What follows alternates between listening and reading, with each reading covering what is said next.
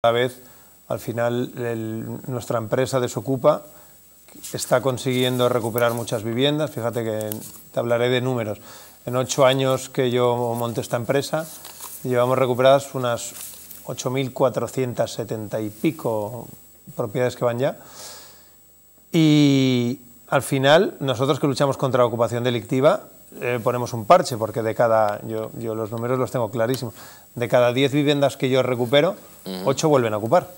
Porque nosotros no nos dedicamos a sacar familias con niños a la calle, que, que, no, que no, lo- no lo comparto. O sea, yo siempre que, que, nos, eh, que nos explican un caso, viene un propietario y te dice, ostras, Daniel, mira, se me ha metido en el piso tal. La pregunta es, ¿qué tipo de ocupa es? ¿Vale?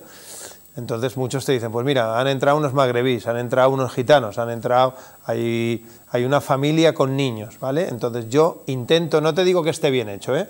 Pero hay que distinguir de la familia con niños, o por ejemplo, casos, eh, casos reales, te hablo, yo te hablaré siempre con, con ejemplos de casos reales.